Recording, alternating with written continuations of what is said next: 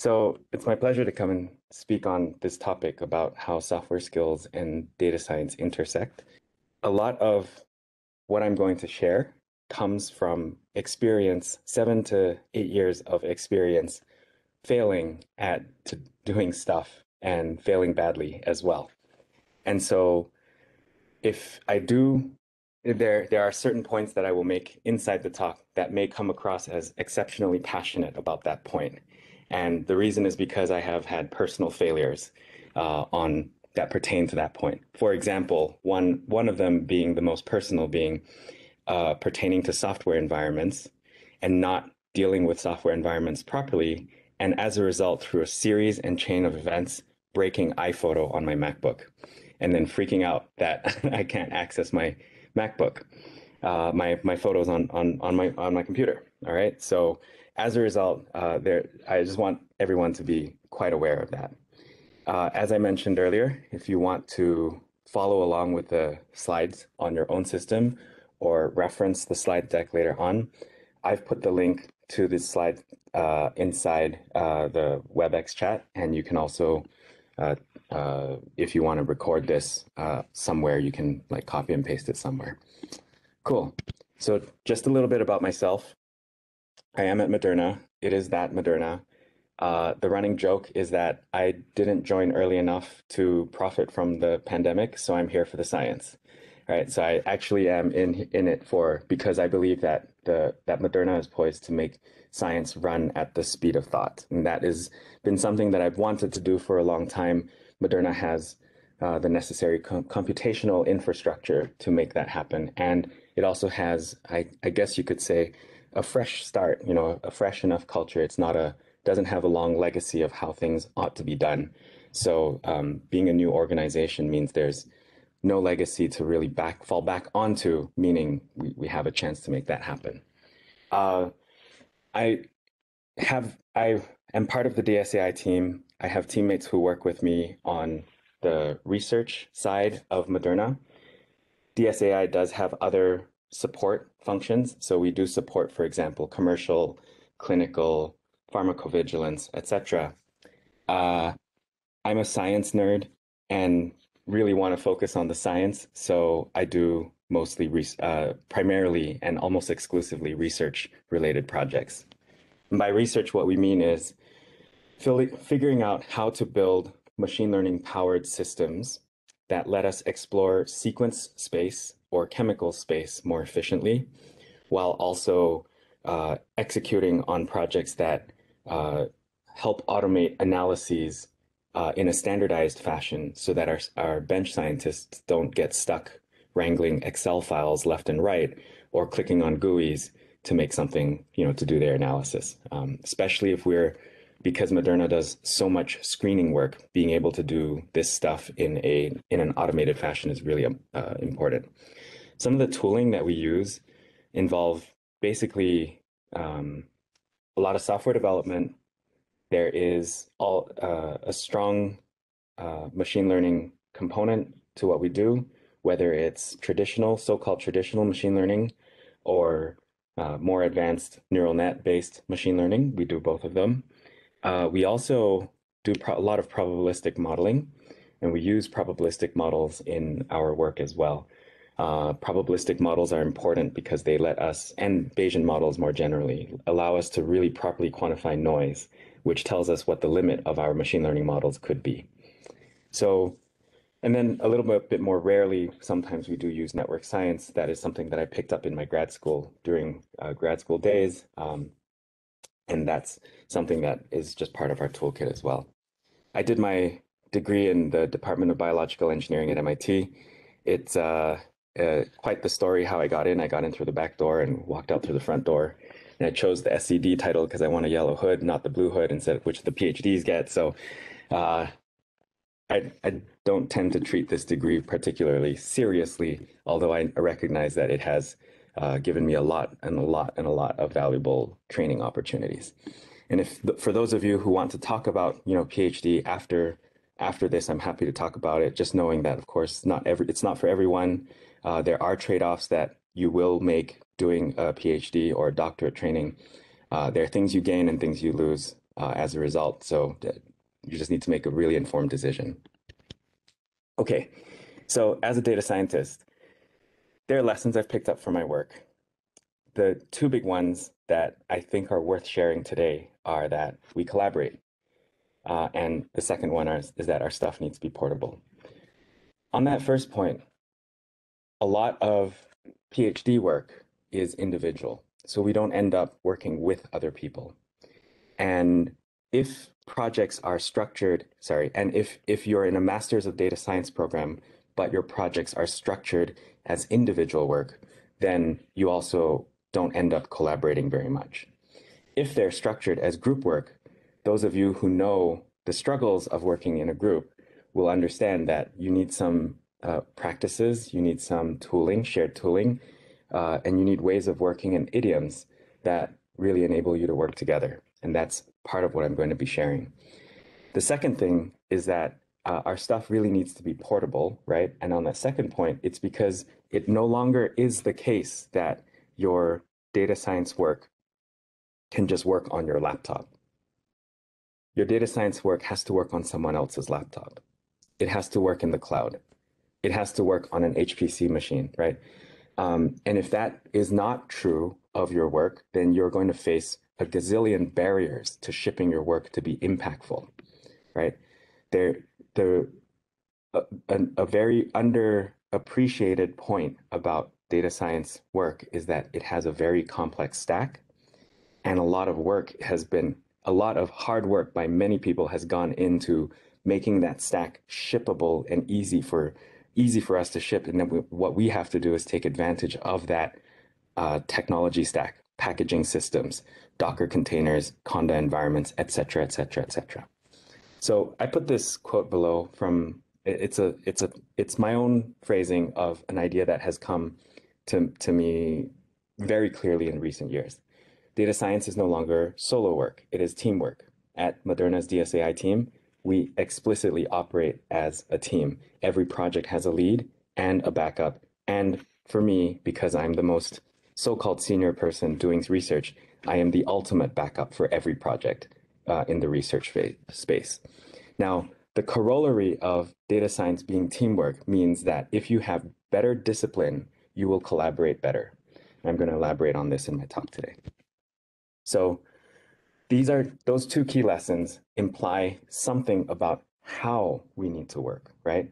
And how we need to work really enables the the us to fulfill, uh, or rather, how structuring how we work in a disciplined fashion. It really enables us to collaborate well together. So when we think about collaboration, the first thing we should think about is that it implies sharing of stuff. At Moderna, we're structured as a team where every project has a lead and a backup with me as the ultimate backup. What that implies is that every teammate must be able to jump onto any project in an easy fashion. They should not have a high cognitive barrier to jumping onto a project. They, when they look at a project repository, a Git repository, they should be able to look at it and go, yes, notebooks are there, source code is here, things that handle data are there, things that write to disk are there. Things that uh, create a command line interface for the project are here. So what that enables is that we have no cognitive load jumping onto someone else's project with respect to the structure of the project. In addition to that, we work with tools that enable us, uh, we work and standardize on tools and workflows that enable us to work together. A uh, few examples that I will talk about later. We use Visual Studio Code almost exclusively uh, for our development work, and that's because it allows us to co-write source code together. In addition to that, the Jupyter Notebook interface uh, is also well supported as well, so we never have to context switch between our source code and a Jupyter Lab interface, for example. And we have other integrations with internal systems, Jira and Bitbucket, for example, or GitHub if you're on the GitHub ecosystem. Both of those uh, uh, extensions exist for VS Code and allow us to really never have to context switch out of our projects. We also standardize on the way that we develop our projects. At Moderna, uh, depends on your interest, but in my case, thankfully, we don't have to build graphical user interfaces. We only have to build command line tools that spit out files uh, for our colleagues. And those get packaged up and deployed on in Docker containers in a highly scalable compute system that we have. Um, I won't talk about that compute system today, but we can, you know, offline talk about that if you're curious about it. Because we've standardized on that, there's zero ambiguity about what our endpoint is. Our deliverables are always going to be Python packages or compute tasks and nothing else. Uh, and as a result, with the clear expectations, we collaborate with teams, other teams in Moderna in a very, very efficient fashion because they know we stop where we stop and where we need to engage a software development professional software development team for other things. The final thing is that um, when we talk about collaborative work together, usually you have to share notebooks, source code, and data. And I don't know if you've had this conversation ever before, but A goes, "Oh, I put that I put that Excel file in OneDrive." And then it's named with an underscore 202200404, right? Um, that never happens for us at Moderna, or at least within the DSAI team. We have a data version control system that we are able to use to reference data by specific commit hashes. And with that comes zero ambiguity when talking about data and code. Our artifacts are also shipped with, with versioning as well. So if someone finds out that they are using an older version of a thing, we can tell them, please upgrade to the latest thing. Then your problems will be fixed. So as a result, we really buy into this idea of zero ambiguity through versioning. And in doing so, we really eliminate many, many, many sources of problems. All right, so how, how do we enable all of this stuff? I'm going to start off with project structure templates. This is extremely important. For those of you who have heard about the cookie, cookie cutter data science stack, this is one essential uh, it is uh, it is something that we have modeled and used inside internally uh, in in our project project stacks. Um, all of our projects are initialized identically. They are initialized and look exactly like Python packages, with only one exception. They have an additional directory called notebooks, which allow us to store prototypes, notebooks, explorations, and stuff, right? Any customization happens afterwards. Uh, so if, if, for example, a project ends up not needing the notebooks directory, then that notebooks directory is removed. If, for example, a data uh, a, a, project ends up needing a, an artifacts directory for whatever reason, um, it, we never need it at Moderna because we have an artifacts repository as well. Um, but if you ever needed it, we can add it in. And what's important is that there is a command line tool that we use internally that helps us initialize projects completely identically. So it makes the good things easy to do. You never have to remember how projects are supposed to be structured. You will get your project initialized in a templated fashion. And then you can remove all the things that you don't need one by one. It even comes with all of the configuration files that are necessary for all of the tooling to work. And if you ever find that you need additional things to be incorporated into that template, we actually store our project templates is, as part of a Git repository, which means if you want to make an additional customization, all you have to do is go and make a pull request to that Git repository and you're done. And then now everyone can benefit from the common customizations that you've just contributed. So that's a really important this this use of standardized project structure templates is one thing that's really important. I mentioned just now that by standardizing the locations of different things, notebooks go here, software goes there, tests go here, documentation goes there. No one has to wrap their head around someone else's idiosyncratic way of working. We all just buy in into this one way of figure, uh, one fairly sane way of working that is incrementally upgradable as new uh, practices become common. On my front, what I have done to try to make that tooling uh, a little bit more accessible outside of the uh, in, in the open source world is to create a mimic of the internal tooling in my own time. And so this is what we call uh, PyDS CLI, and it's essentially a command line interface. Pardon me. It's essentially a command line tool that helps with the initial project uh, standardized project cre- uh, repository creation.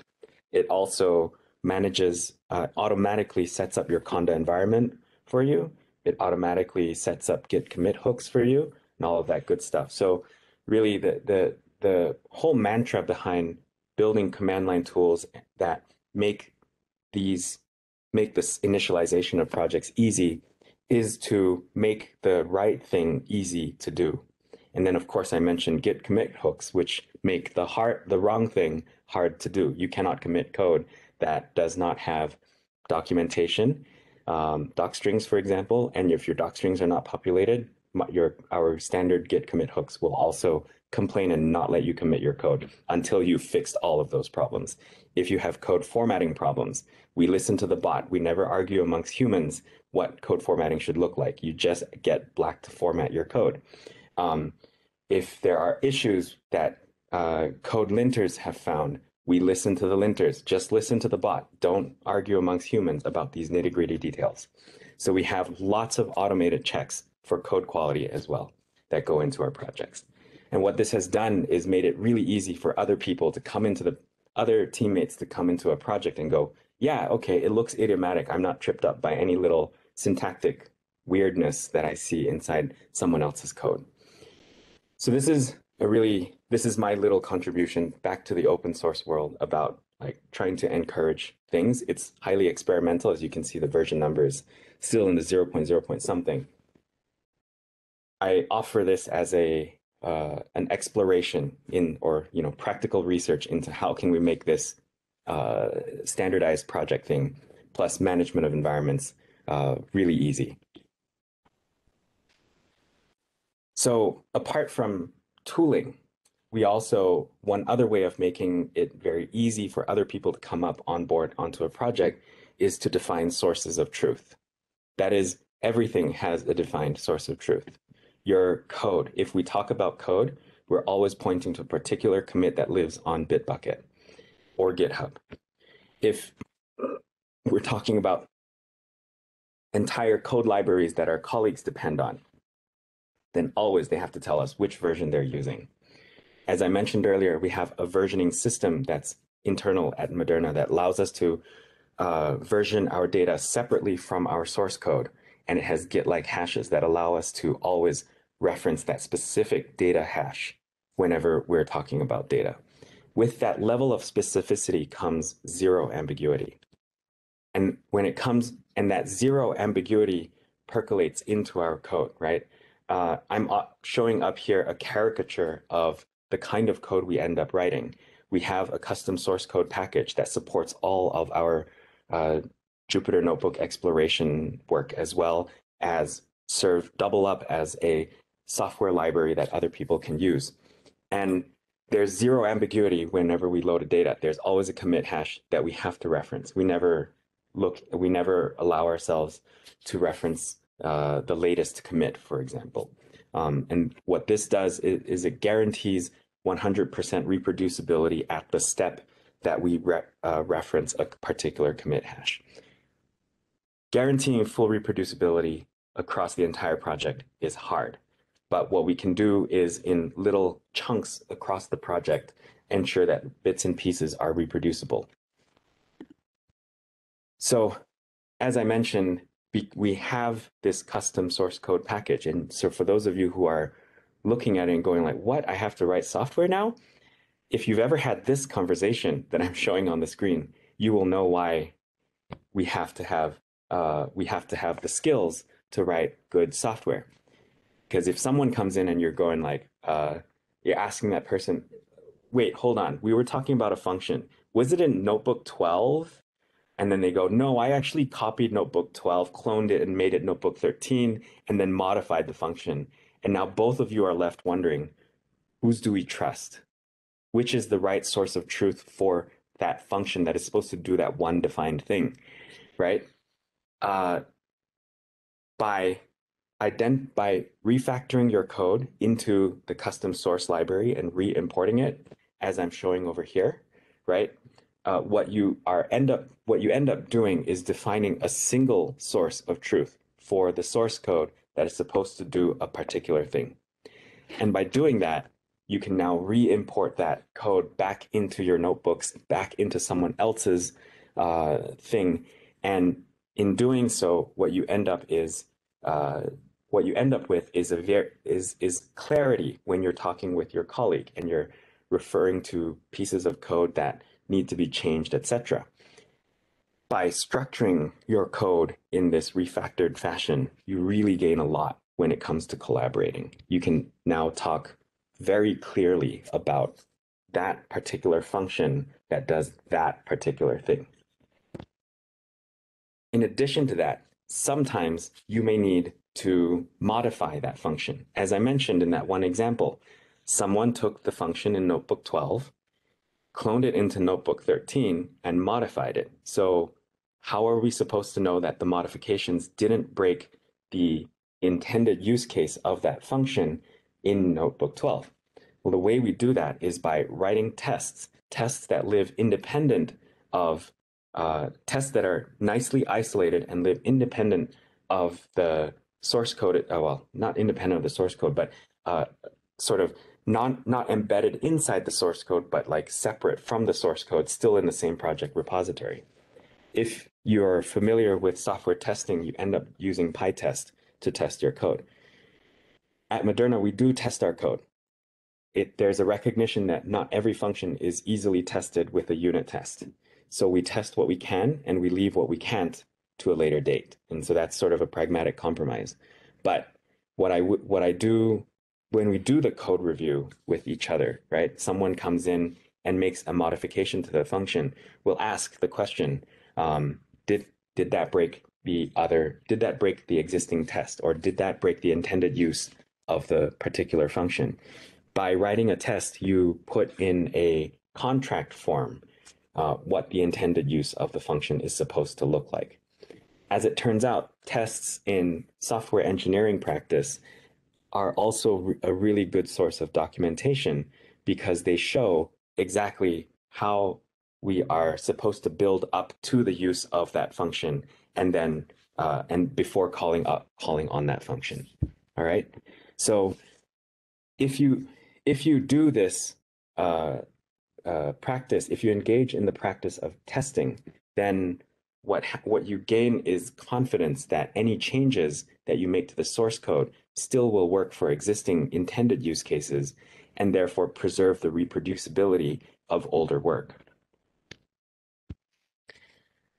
When you, for those of us, uh, I think all of us who are in the Python plus data science land will use pandas. And for those of you who have received pandas data frames, either as CSV files, Parquet files, or whatever, that have corrupted data, data that don't fulfill our expectations, you'll know how much of a pain it is to debug what's going on inside there. So thankfully, in recent years, there's been tooling that allow us to do data validation checks. And tools like Pandera allow us to do that. Um, Pandera gives us the capability of writing a data frame schema, which declares that this particular column should be an integer, that particular column should be a floating point, this third column should be a string that follows a particular regex, a fourth column should be a floating point that is positive only, etc., etc., etc. What you can do with Pandera is then use it to check the inputs and outputs of your data handling functions. If things handle pandas, if functions handle pandas data frames, you can check the inputs and the outputs of uh, those pandas uh, of data frame arguments that are passed in and the return of that function respectively. And in doing so, you reduce the amount of time that you need to go and debug your data, right? If something wrong happened, uh, if if you think about what could counterfactually happen. If you didn't check your data at data loading and you just start started writing code against that data frame and it had something that violated your assumptions about what that data frame should be looking like, you could end up with an, an entire half a day of debugging what, what exactly was it in the data frame that went wrong? Whereas on the other hand, if you use Pandera, then your data frames are validated right at the point of execution of this function. Um, and in doing so, you, you can immediately catch errors in the data frame before they show up, uh, before they break your, your downstream code. All right. So those are some project specific um, practices that enable us to uh, work in a fashion that is reliable, reproducible, and collaborative.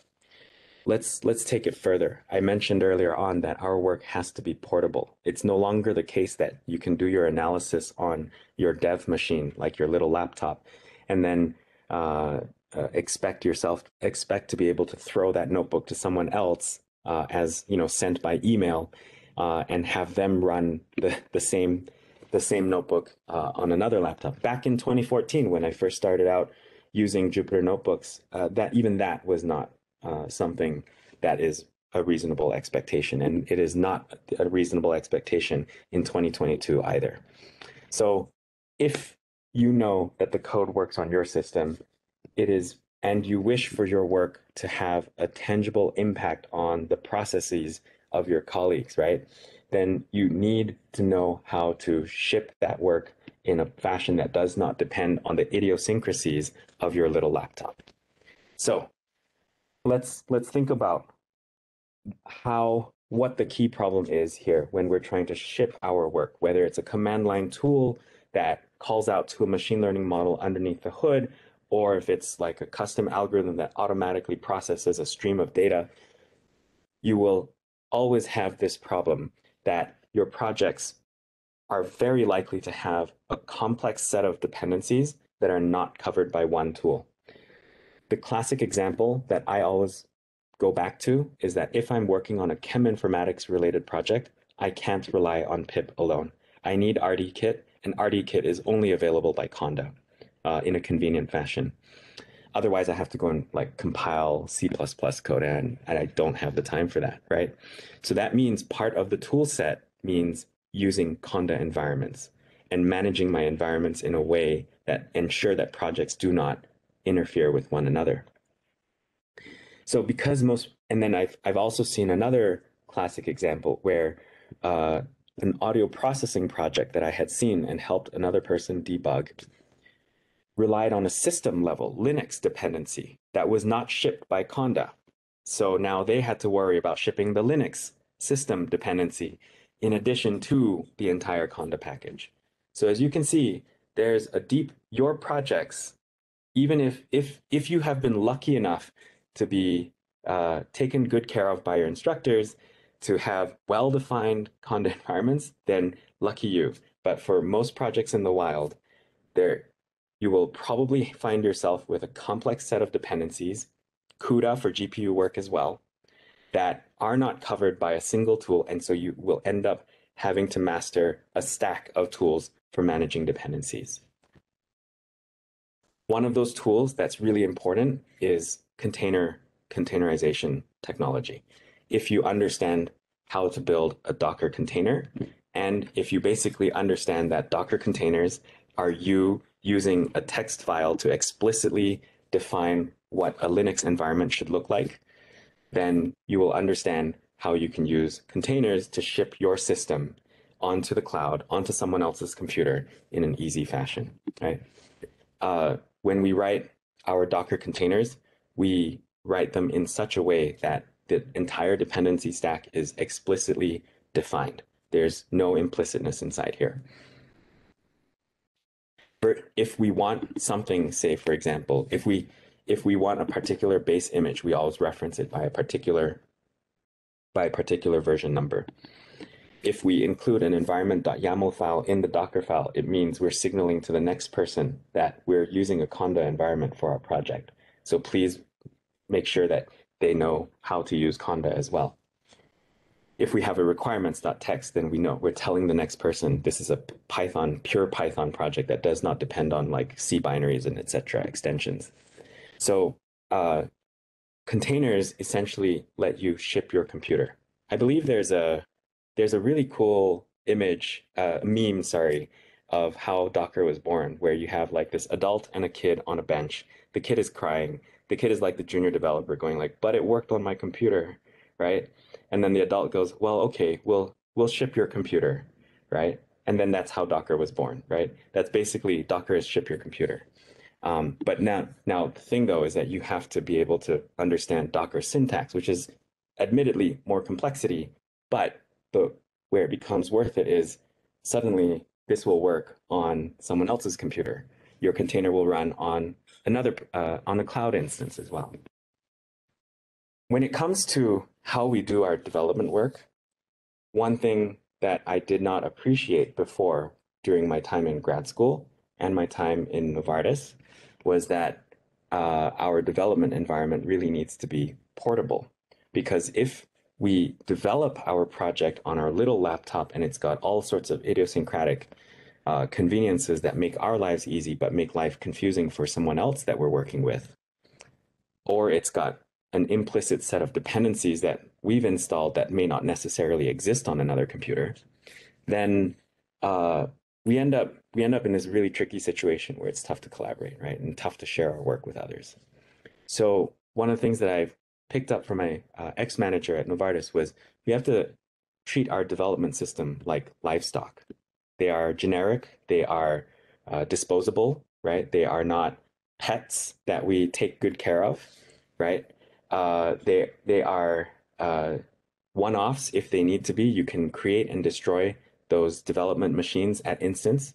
And what this really implies then is you, you we we end up working on the cloud very often. Um, we might have uh, and and our environments are all basically ephemeral, and we should be able to recreate them at will, just like that. Our CLI tooling helps with that as well, right? So. Um, some of the lessons I ended up learning was then we treat our development system like livestock. I need a cloud instance with a GPU, I spin it up. And then I don't need it, I turn, uh, shut it right down. My source code has to always get committed, otherwise I'm going to lose any changes on my cloud instance. Um, we never treat our development system like a, a, pet, right? Like I can close that instance, shut it down, and then recreate, uh, re-initialize a new instance just like that, like nobody's business. Your laptop it's okay for it to be a pet. Like that's your laptop, right? Like that my laptop is a glorified Chromebook at this point because all of the heavy lifting and compute does uh, happens on the cloud. It also implies, though, that my laptop is no longer my development system. Uh, my development system is a cloud instance that is running remotely. So, something that has really benefited this notion of portability is not working locally on my laptop, but instead working in an ephemeral environment. That is how we really uh, encourage portability. And portability enables collaboration because now, with the same set of idioms, I can get someone else, the same thing working on someone else's dev system, whether it is the cloud or their local machine, if they so choose to. All right.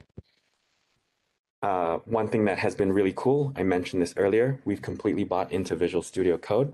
That's because, and it's actually Visual Studio Code with the remote extension. So I've always SSH'd in through Visual Studio Code into my remote instance, into the project directory, and started development work there.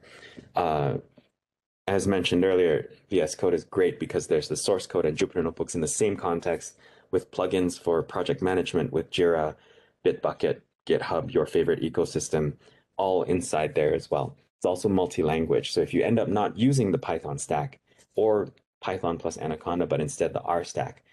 That is also extremely well supported in VS Code. Okay, and because this is all like 100% remote cloud development, we end up with uh, a really awesome set of idioms uh, that enable us to work with one another. We can hop on a video call very quickly uh, and and uh, do a screen share to uh, figure out whether code is code is working or not debug together live. We can do live share sessions that allow us to collaboratively write code together. Uh, if we need a larger instance because this one doesn't have enough RAM or that one doesn't have enough GPUs available, we spin it up, recreate the environment, and get going like within 10 minutes. So there's very, very little barrier for us to be able to uh, uh, swap between instances as needed and collaborate with others. Now, the final thing I want to talk about is also the thing that always gets deprioritized. How many of you have written notebooks that uh, contain code and zero prose, zero comments? Like if you ra raised your hand, I have to raise my hand as well because I've done that as well. It is no shame in doing that. On the other hand, uh, if you are and if you are collaborating with other people, now that is where having notebooks that look like code and Python scripts alone is really bad. In addition to that, your lack of docstring, for example, uh, documentation would will end up creating barriers for other people to know how to use your code, right? So having great documentation is important for collaboration because it enables others to quickly gain the context that you have in your head about the project. In addition to that, others doesn't just mean some other person, but your future self. How many of you have had a project where you worked on something, abandoned the code for six months and came back to it and looked looked at it and good like went like ah, I I don't exactly know what I was doing back then. Uh, I don't like my code from six months ago. That is me sometimes as well. So your future self will also thank you for good documentation. It really helps you uh, enable. It really helps enable your ability to to take on that uh, that project again in the future. There's a phrase that I remember: documentation scales yourself. Documentation scales your ability to do things because you're not if if something is well documented, you won't get inundated with questions about that thing. You can that thing will be well documented that other people can figure out what's going on. So your future self really will thank you in many ways if you write good documentation. To learn how to write good documentation, I'm not going to harp on it over here because other people have written documentation about how to write good documentation. If you go to the Diataxis, if you search for the Diataxis framework, diataxis.fr, then you will see that documentation actually isn't one monolithic thing, but four kinds of things. And what this really, knowing this framework has actually helped bring a lot of clarity. We often say that when we write something, we need to know our audience. What the documentation framework Diataxis does is it clarifies for us for these four types of documentation who is the audience, who will benefit, who needs to know what, how much, and as a result, how much detail do you go into when you're writing the documentation. Okay, so to summarize everything that I've shared thus far, basically, there's some mental models that I think need to be broadly, more broadly encouraged. As someone who has been hired and is do has done hiring before, I have seen that uh, a lot of these mental models are actually very rarely present amongst the candidates that I have uh, have had the chance to interview, and so it's important, I think, to well, at least one of my goals through this talk and other talks that I have done is to spread awareness about the need for these mental models. In the interest of collaborating and in the interest of shipping, we really therefore need to be able to, one, standardize our practices and tooling, right? Make sure that we're working in established idioms in ways that are established idioms that, uh, that are shared amongst the people that we work with. The second thing is we really need to, in the interest of reproducibility, we want to be testing our code and making sure that our code from the past still works with notebooks that we have done in the past, for example, right? Uh, and that we never break other people's things inadvertently. So testing is really important. The third thing is how you is the importance of documentation. As I mentioned earlier, if you write great documentation, not only will other people benefit, your work will also scale itself more naturally as well, and your future self will end up thanking you the final thing is to start thinking in terms not of like I just need to get my job done, but I want to get my job done in a way that also makes it easier for other people to get their job done. And part of that is defining single sources of truth for everything, right? You don't just copy and paste the data into new directory willy-nilly. You set up a system that says we have versions for our data. We have ver- uh, we have sources of truth for our functions, and we're always going to go and depend on those single sources of truth. So if you think carefully about everything that I've said here, they sound a ton like software practice, software development practices. And that is because they are software development practices. There's nothing particularly uh, mystical about software development practices. They stem from these mindsets where you have standardization, testing, documentation, and single sources of truth for everything. And in doing so, you enable collaboration and easy shipping of your work. Software developers have actually tried to solve a lot of the problems that we data scientists end up encountering in our work. And they've been doing this for decades now.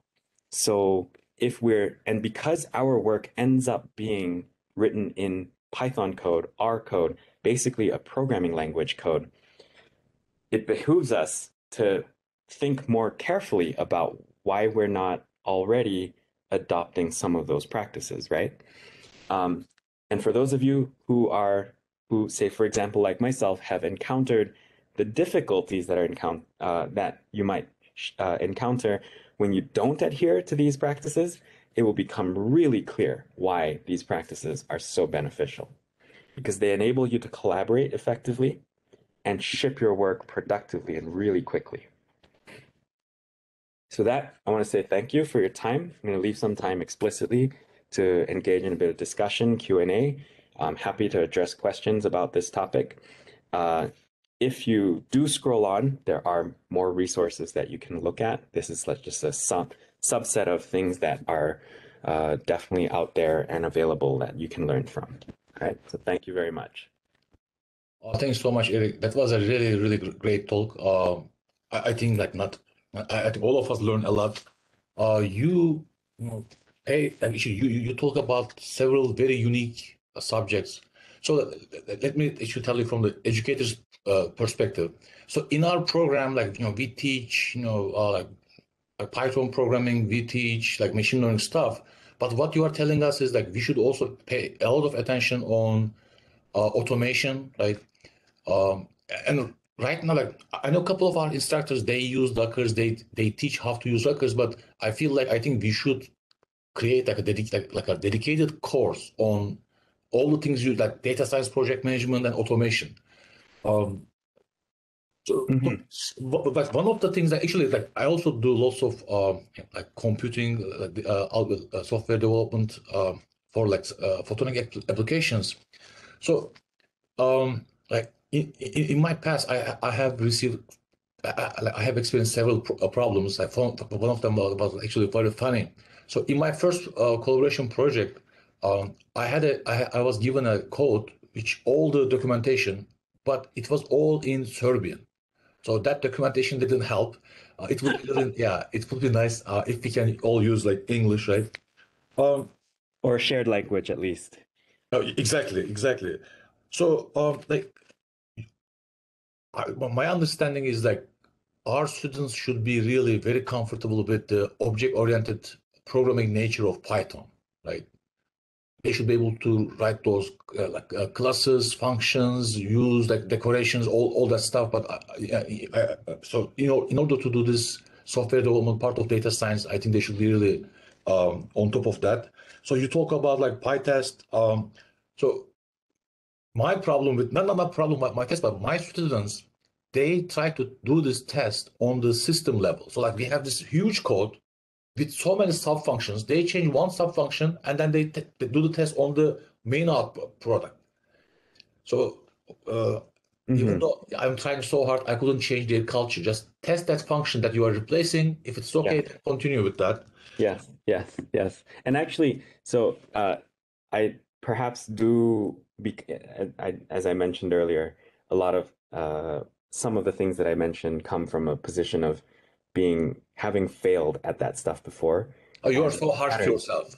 that pattern actually of uh, oh, I'll just tweak the function and rerun the entire pipeline to check the output. I've done that before. I did that for my thesis code, and for that reason, my thesis code feels very hacky. Right? It does not feel like good software. And actually, I, I left my thesis code on GitHub for all to see that I was once in that position as well. Um, so there's no shame, uh, though, if we have the desire, sorry, there's no shame in being in that position now, of course, but if we want to equip ourselves, I think, for the future, for a, a role that is exciting, that has uh, the capability to ship projects with that are impactful, um, then I think it's it it it it is a really awesome thing to be able to learn about, you know, software testing, automation, and all of those other cool things that you that you've you've alluded to. Absolutely. And like, how do you handle this? I understood the the way you look at documentation, but I need help with the documentation in testing sites because when I look at our testing folder, it just grows and grows and grows, and I don't know like which test is done for what. So how, how do you handle that? We we and uh, through the pre-commit hooks, every function must have a docstring, and because in PyTest every test is a function, every test must have a docstring as well. And we take the chance to document the intent of the of the test inside the docstring itself. Uh, what's also important is we engage in code review. And what code review exposes is any place that I, the code writer, or the documentation writer may have left implicit knowledge on the table and not written into the documentation. So when we do the code slash documentation review, it's important that the person re reviewing the code knows exactly what that function is supposed to do, how it's done, how it's working. It's how we back up each other as well and share knowledge. The person who did the code review is recorded in the Git history uh, through our pull request interface. And so we can ask if the person who originally wrote the code is no longer available for whatever reason, we can go into the Git history and ask who reviewed the code. We're going to ask that person.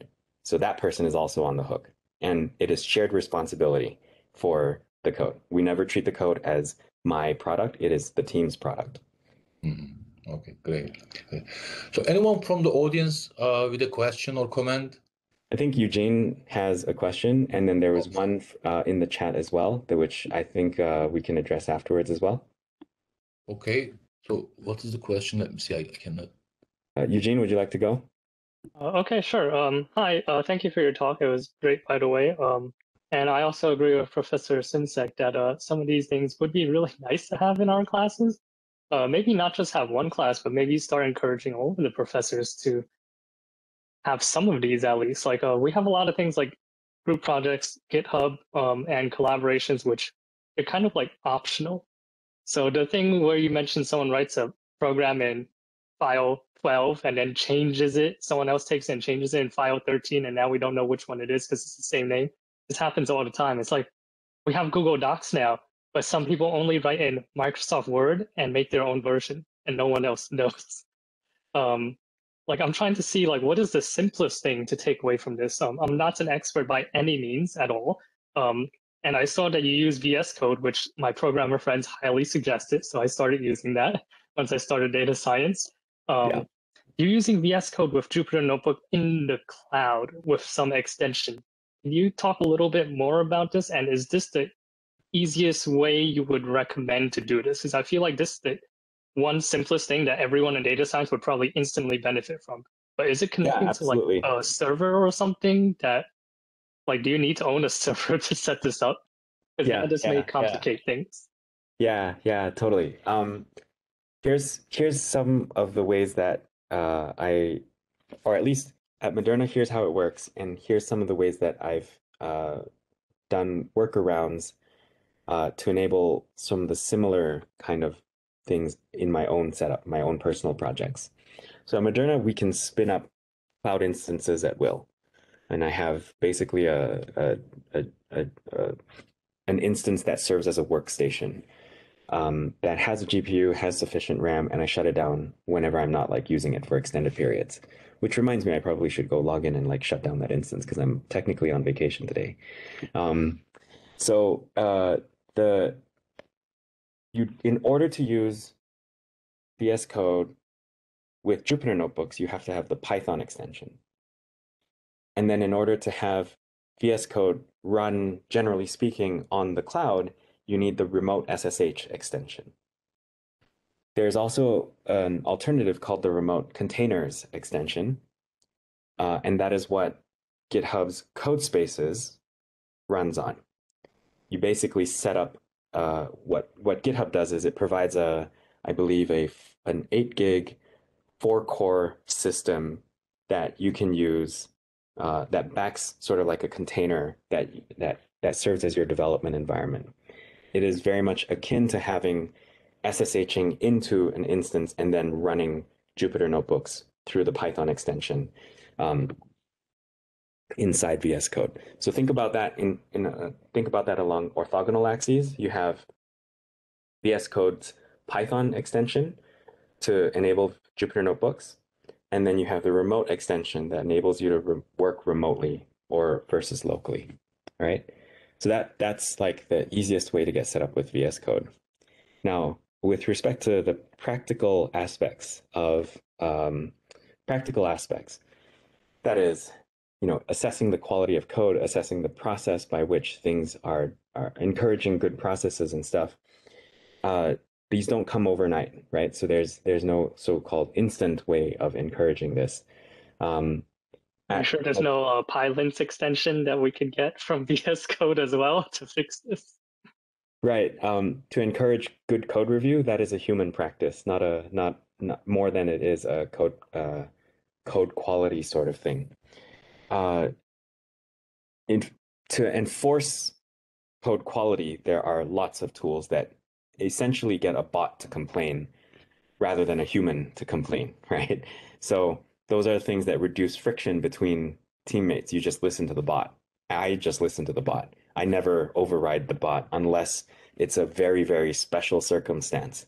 Like we're dealing with legacy code that was not written by ourselves and we just need to depend on that thing by copying it over and, and deprecating an old repo, right? Like that that is like the one case that we don't listen to the bot. But everything else, any new code that is written, we just listen to the bot for code quality. Um, to to get the other practices into the curriculum, though, that is going to take, admittedly, a lot of work. And I know for a fact that most um, academic programs are not structurally incentivized to teach this stuff, right? They are. It is. It is structurally incentivized to teach the theory uh, more than the practice. Um, of course, there, every program has a little bit of a spectrum in between, right? So the data science program might be more closely aligned to the practical sides. Uh, sorry, data science programs might be more, generally speaking, aligned to the practical side. There's always going to be a bit of a gap. And that software development skill is actually teachable through external partnerships. There is one that I know of called Software Carpentry. If you have heard of this one, then that is an ex extremely excellent thing to encourage. Um, and I would actually encourage more more than putting it in a formal curriculum. Uh, I would encourage grassroots adoption of it. Or if you wanted to structurally incentivize the thing, allow students to create a course and teach a course that is the software carpentry course, right? And then if you did want to encourage um, better portability practices, make portability part of the grading criteria, right? Uh, set up automation where it says your final project has to be packaged in a Docker container, and you get 10 points if you on your 10% of your final grade is did this thing run on someone else's computer, which are on the instructor's computer, right? Like that, something akin to that. Um, and then suddenly now there's a strong incentive to package up the thing um, in a in a sane fashion. So that those are those are ways to encourage, I believe. Those are my hypotheses at least, sorry, on how to encourage this. Clearly it's it's not going to work for everyone, right? Not every school is going to be equipped. Some schools are going to be better equipped for this. Some schools are going to be some programs may have more institutional knowledge over these good software practices where others would be less equipped. So there, there's going to be customization needed, but I would um, if you wanted to be able to structurally encourage this sort of uh, development of this kind of knowledge in in in the curriculum, then those are some of the ideas that I have.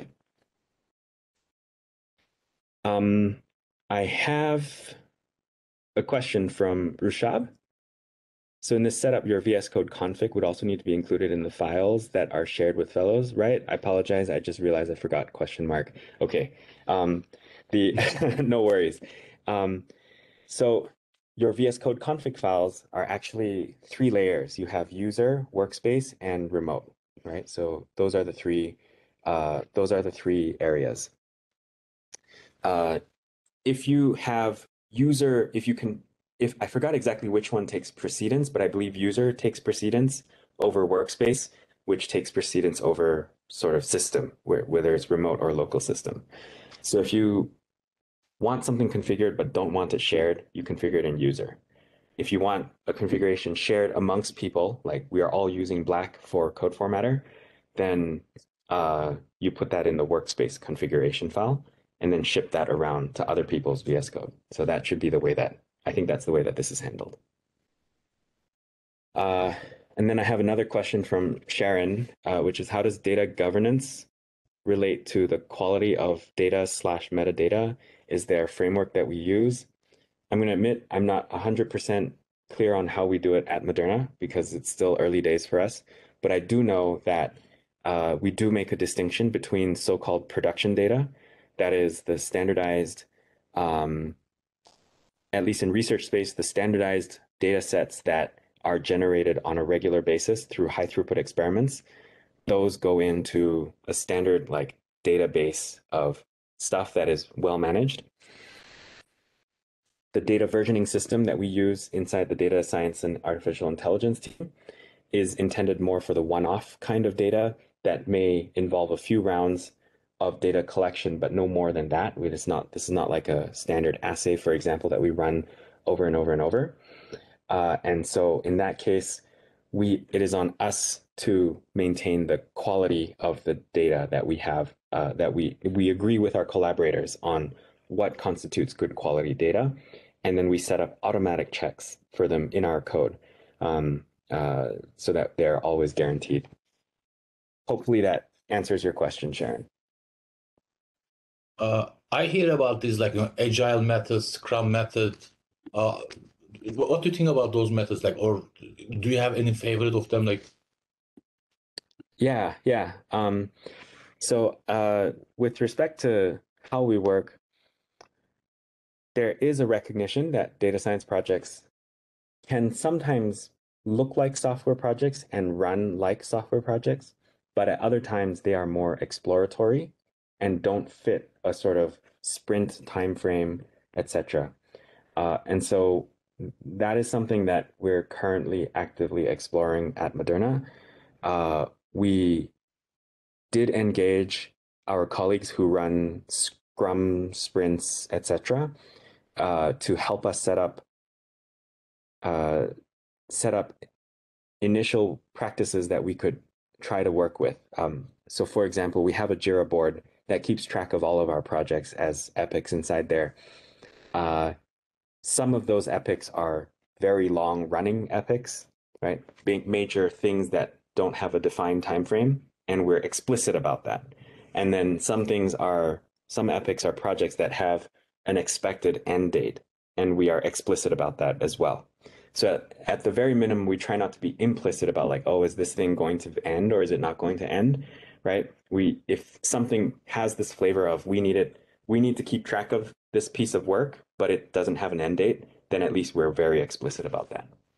Um, I try to encourage my teammates to give as many constant updates to our collaborators as possible, right? Like things that would make them bring them would spark joy in our collaborators as soon as there's something like that, just share it. Don't don't like wait to package it up and polish it up even further, right? Just share it and share the update and show the update. Don't just tell, right? Show a work product that corresponds to that update. Even if it's not polished, it's fine, right? Like that's that's something that I try to encourage my teammates to do. It is a in their nature to sometimes want to be a bit more perfectionist. Uh, sometimes for myself as well, when my my own work is at stake.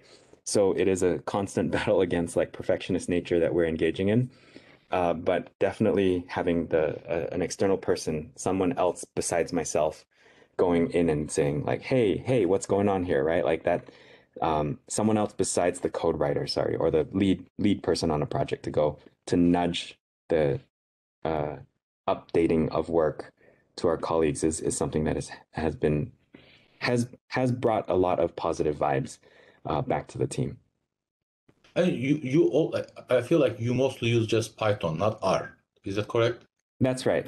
Uh, part of the standardization was we standardized on Python, so we don't use the R stack, even though there are uh, packages that could be useful.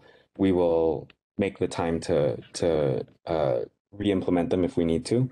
Uh, the reason here is that uh, managing a second language stack is harder than managing a little extra piece of code. So we have that trade-off in mind.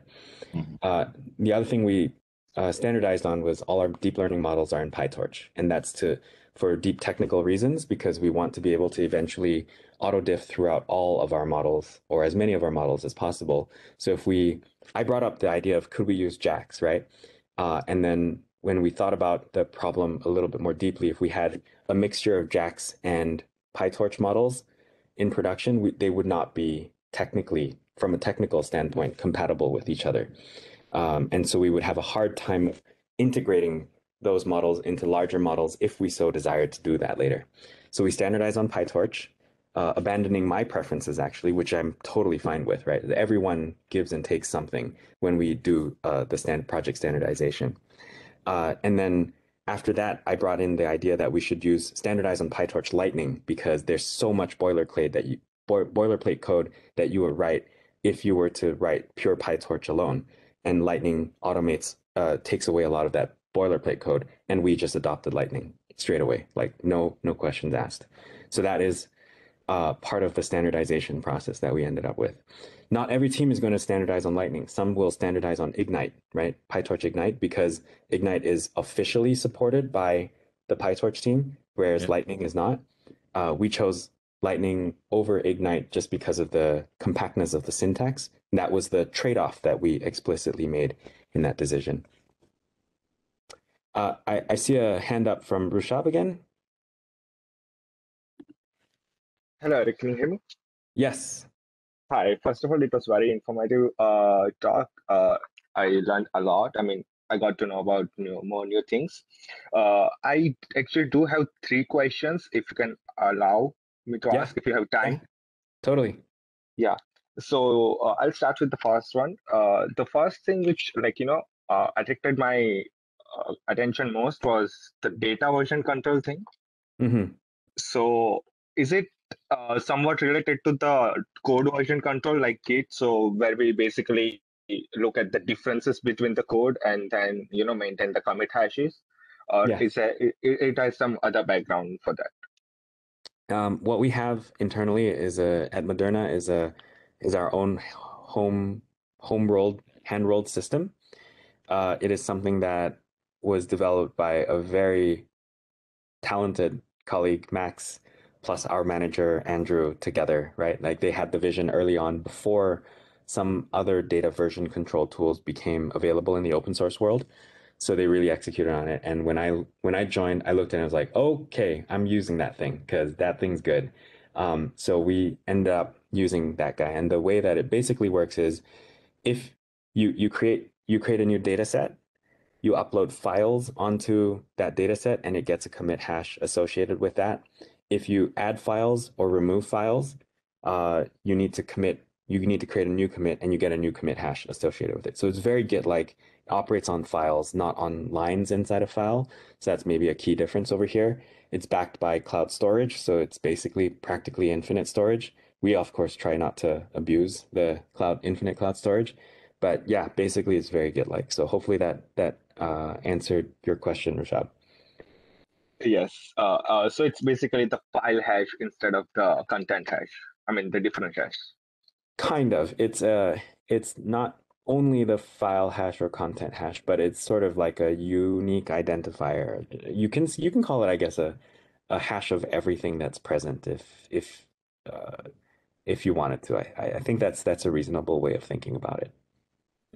Thank you. Uh, so the next thing was that you you uh, you mentioned that uh, at Moderna, the in, in your team, the deliverable deliverable is mostly either a Python package or a compute task. So, uh, uh, what would be a, an example of a compute task be here? Yeah, so compute task is basically our command line tool packaged up inside a Docker container and then configured in such a way that we can execute the command line tool from outside of the Docker container.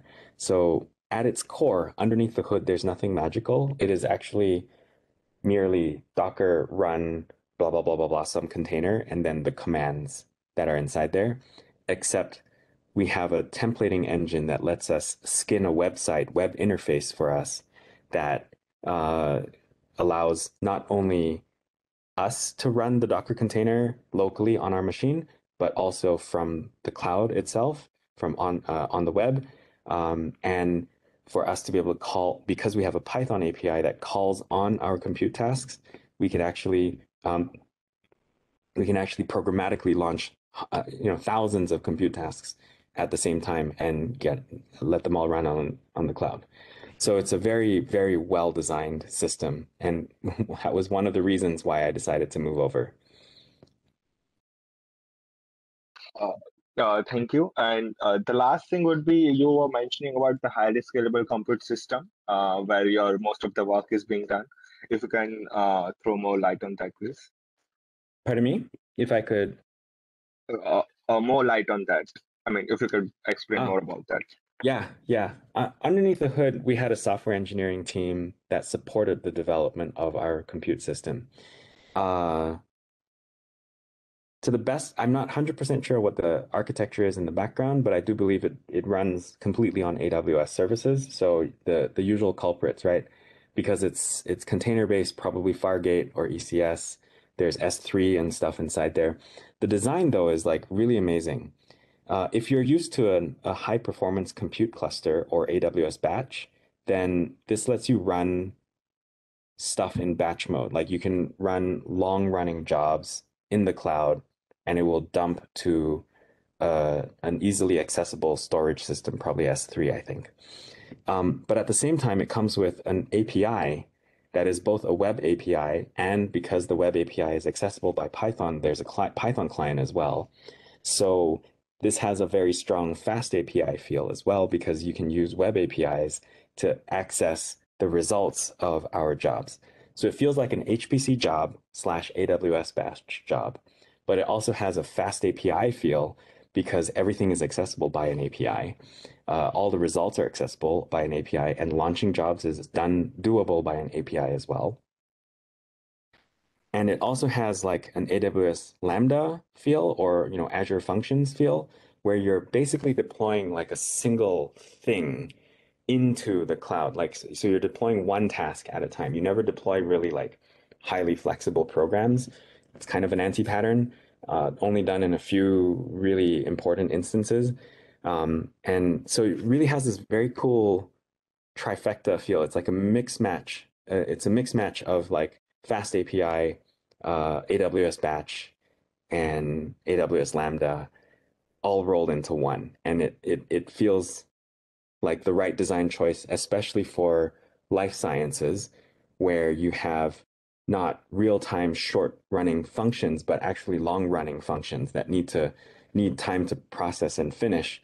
So you do need like that batching kind of feature, right? So that's probably a little bit of a the architecture behind the scenes.